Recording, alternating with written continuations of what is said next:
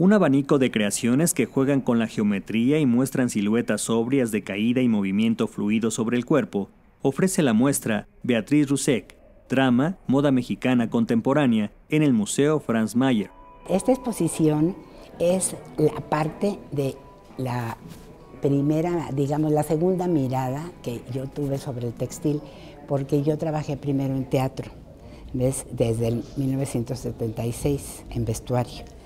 Pero al llegar a Tepoztlán, Morelos, hice eh, ahí un taller y formé a las mujeres que sabían hacer la puntita del crochet, que es el tejido en gancho, y creé de alguna manera un concepto de ropa para no meterle tijera, tijeretazo al textil mexicano y unirlo y respetarlo lo más posible.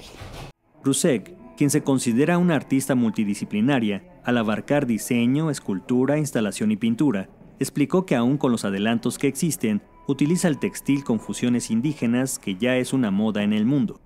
La muestra forma parte del 30 aniversario del espacio museístico y estará abierta al público del 15 de abril al 15 de mayo. Estamos hablando de 36 piezas. Hay una pieza de teatro que la incluimos porque lleva textil indígena. He hecho varias obras de teatro con textiles indígenas, pero esta era la más representativa de lo que es la fusión de las culturas. La pieza de teatro es el kimono que, está en la entrada y es una obra que hice para Art y para mí representa eso, la fusión, el mestizaje, las culturas y la imaginación.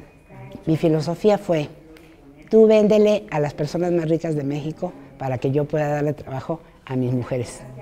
Entonces mi ropa sí es cara, pero es impecable, está bien hecha, está perfecta, dura años. Aquí hay ropa que tiene más de 30 años y que las personas se la siguen poniendo.